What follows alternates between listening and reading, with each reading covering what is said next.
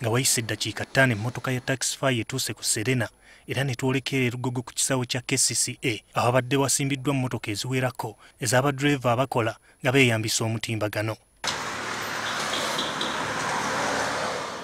Gift mirembe avugira apu bbiri okuli eya taxify n'eya uber. Atutegeezezza nga bwe yasikirizibwa mukwano gwe okuyingira omulimu guno ng'amusomeddemu nga bwe gukola ekiralu.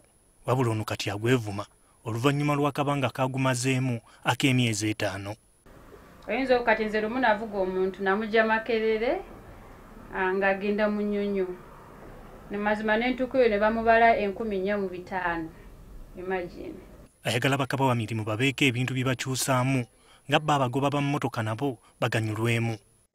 Bongeze kuretisi zaabwe ne distance gye tuvugira ogenda opikinga client kilometers nnya nazo bazicharginge ku client gwoba ogenza opikinga ng'emirimu emirala mulimu ebizibu ebigufumbekeddemu kuba kati oyinza ofuna obuzibu etaxify oba ne uber mu butuufu kye bakola balalaga abantu newoba oli ku kitanda ekirabo kye bakuba kwe kubulookinga kugamba lekere batanafuna buzibu. Ono ne bagoba banne basazeewo okusimba mmotoka zaabwe olwaleero ku kisaawe kya kcca lugogo abawanjagira minisitule y'ebyentambula eveeyo eyingire mu nsonga zaabwe. Nsonga tugenda ziyingizamu gavumenti.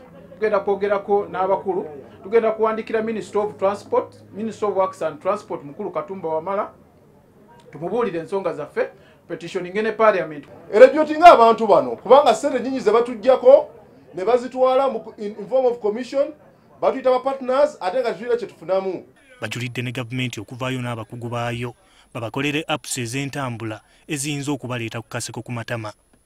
Oba gavumenti nga yo mwami museveni n'ovaayo n'otuyamba n'otuwa abantu abasoma tekinologi ne batuzimbira app netukolera wano. Wabula bwe tugezezzaako okutuuka ku woofiisi ya uba mu industry area n'eza taxify entinda baganya okubaako kye boogera ku nsonga eno. Gerard luyima ntv akawungeezi